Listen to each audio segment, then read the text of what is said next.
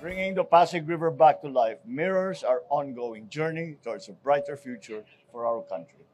Five months ago, when we opened the first phases of this endeavor to the public, I made a declaration, a promise, that I am fully in on this project and that the First Lady and I would also be among the foremost advocates and proponents for its completion.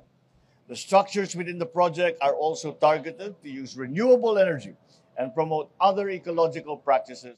Let us work together, make this happen so that we can realize the promise to the, our promise to the Filipino people. A safe, comfortable, productive, sustainable, and peaceful future for everyone.